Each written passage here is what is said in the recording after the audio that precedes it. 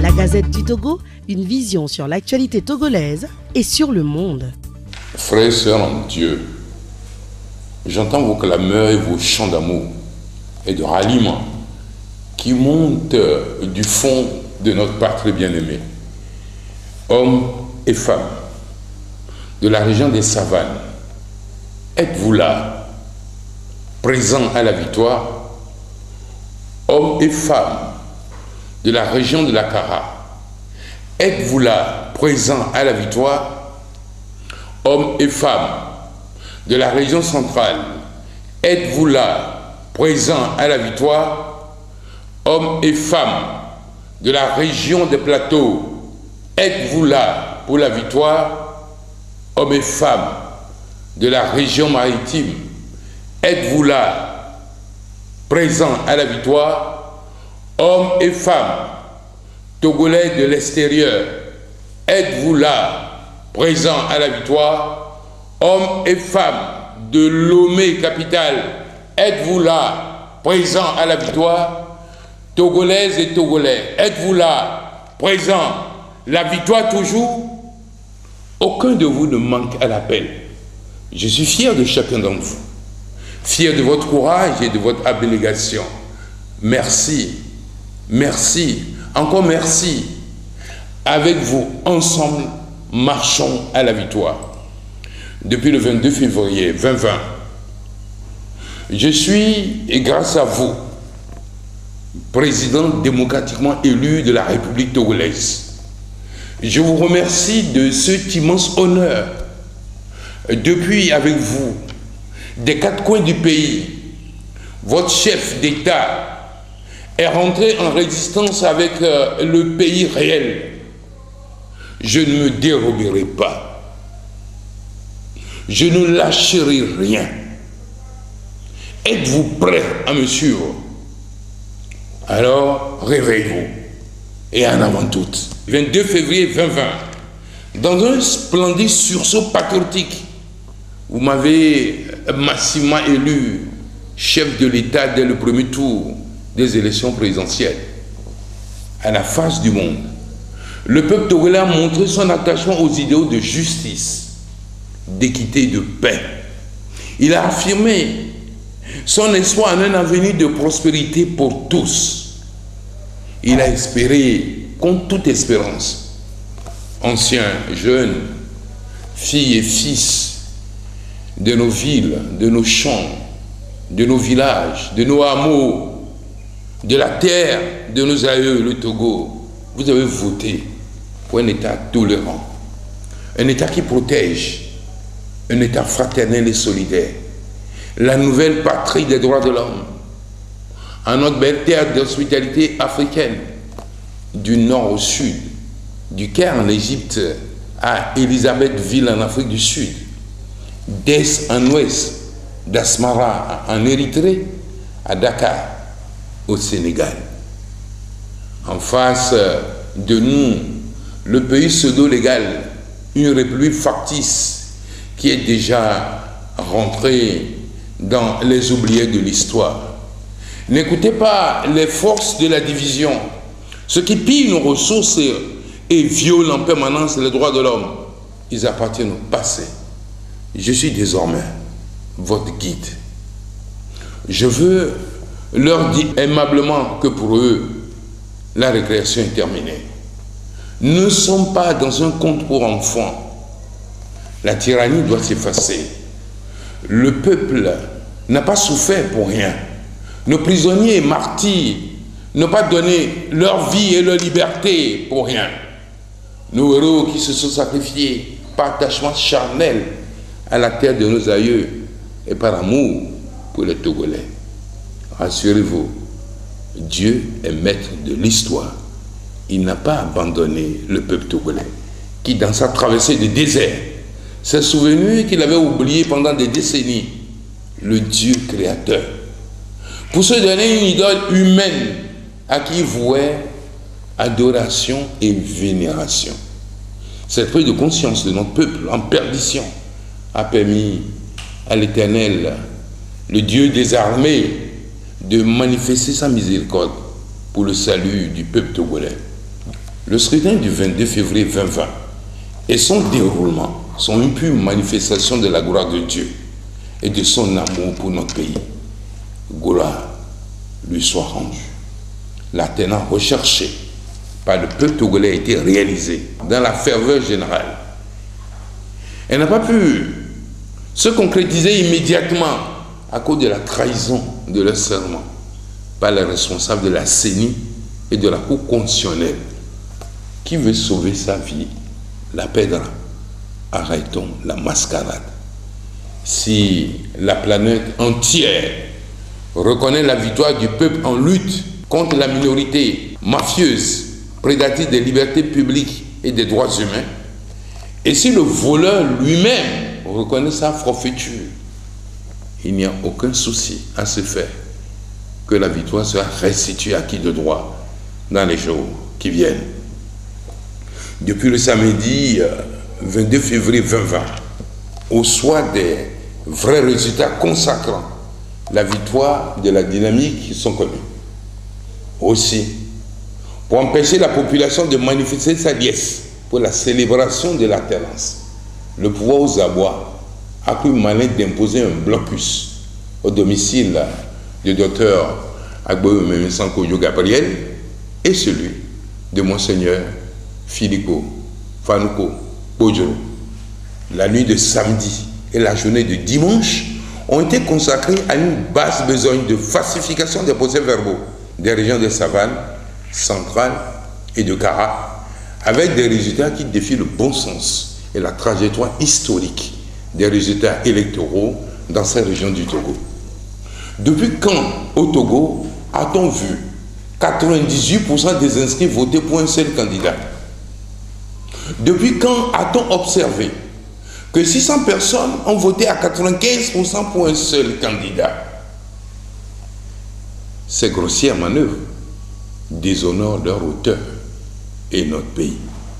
Les résultats frauduleux ont été publiés à la surprise des informaticiens de la CENI avant que les PV ne viennent plus tard de Cara, érigés pour la circonstance en épicentre de la rectification des procès verbaux du septentrion, avec la complicité d'une dizaine de préfets un peu spéciaux qui ont gonflé les scores issus des urnes en faveur du président sortant au détriment de ses adversaires. Rappelons utilement qu'on ne peut pas publier les résultats sans avoir donc disposer des PV des différents bureaux de vote. Et pourtant, c'est ce qui fut le cas. C'est une sinistre plaisanterie qui ne trompe personne. Fort Nyansimbe a clairement perdu le scrutin du 22 février 2020. C'est Agbeome Kojo qui est le vainqueur du scrutin comme l'indique les premières tendances publiées par l'ANC dans son communiqué de samedi soir. Et surtout, comme l'affirme un baron de la formation politique unie, très proche du président sortant, que le vrai vainqueur du scrutin du 22 février 2020 est le candidat de la dynamique de Monseigneur Bojo. Toutes les tracasseries dérisoires imposées aux gagnants et à ses proches ont un seul objectif, le réduire au silence ou le faire fuir du pays, le pousser en exil. Ces misères combinent auront l'effet inverse et n'empêcheront pas l'alternance. Il m'a été demandé à plusieurs fois de reconnaître la fausse victoire de Fogna Singbe pour que je puisse vivre en paix au Togo, bénéficier des prébendes et accéder à des plus hautes responsabilités. Assez de chimères. Voulez-vous que j'accepte, chers amis? Voulez-vous que je trahisse la confiance de mes électeurs? Si je trahis le peuple, je trahis aussi le sacrifice consenti par le patriarche. Son Excellence Monseigneur Fanuko Philippe Bojoro, à qui, je le souhaite vivement, Dieu permettra enfin de voir le Togo libre, le Togo du moins mais accéder à son alternance. N'ayez pas peur, je resterai debout avec vous tous, unis dans la lutte jusqu'à la victoire finale. Cette victoire historique du peuple togolais, malgré toutes les opérations de bourrage d'intimidation et d'expulsion des délégués de l'opposition des bureaux de vote a traversé nos frontières et salué par certaines personnalités de relief planétaire. Des puissances occidentales nous ont assuré qu'elles ne se joindront pas au conseil d'hypocrisie de messages de félicitations et ne reconnaîtront pas la future orchestrée par le pouvoir qui s'adjuge? Une victoire qui n'est pas issue des yeux. Bien mal acquis, dit-on, ne profite jamais. Courage et confiance à nous tous. Refus de publier les résultats bureau de vote par bureau de vote, que nous avons réclamé au moment de la préparation du processus électoral et exigé récemment donc par le département des États-Unis d'Amérique, que je remercie au passage, pour son souci de la vérité des urnes, le pouvoir maladroitement associé des actes d'intimidation à l'endroit du candidat vainqueur des urnes en assiégeant à plusieurs reprises son domicile depuis euh, sa victoire au scrutin. Ce qui, objectivement, est un aveu d'échec manifeste.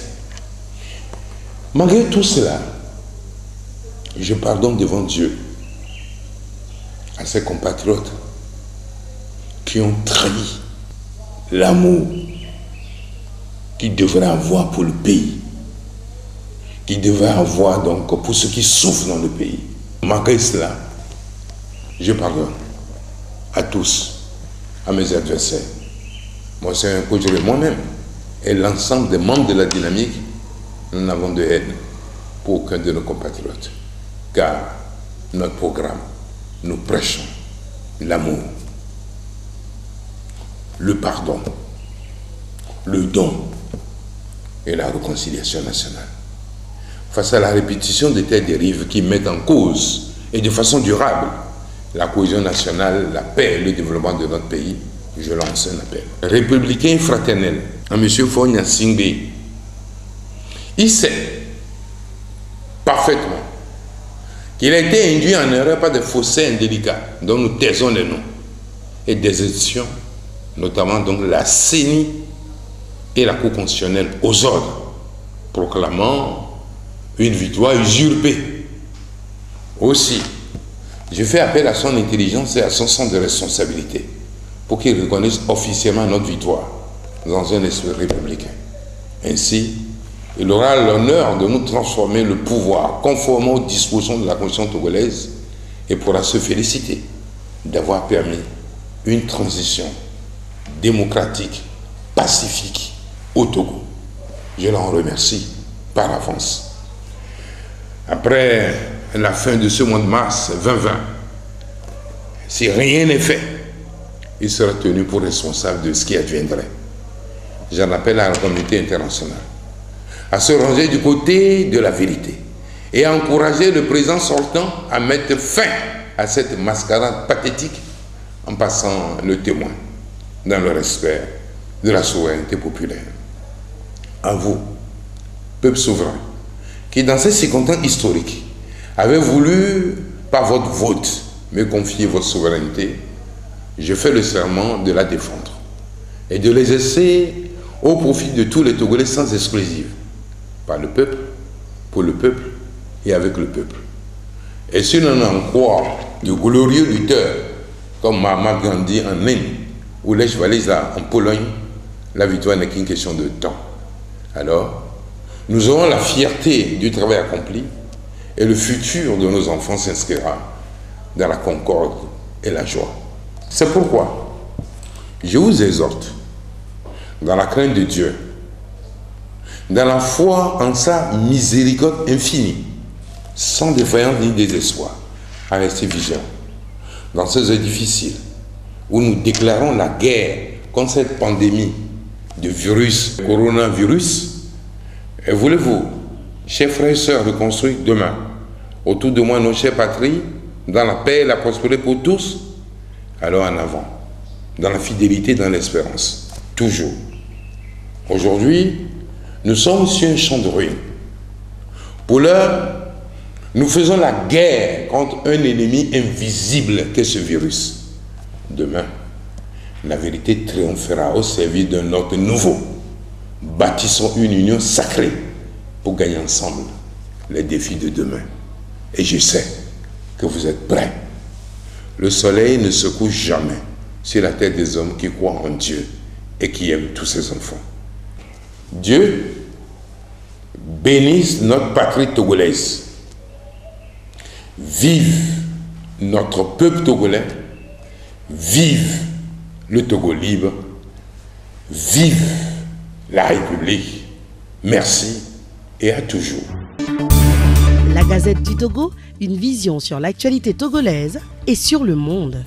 Rejoignez-nous sur le www.lagazettedutogo.com ou sur nos comptes Facebook, Twitter et YouTube. Pour tout contact, écrivez à contact@lagazettedutogo.com ou appelez le 92 80 88 53. La Gazette du Togo, c'est l'information en continu.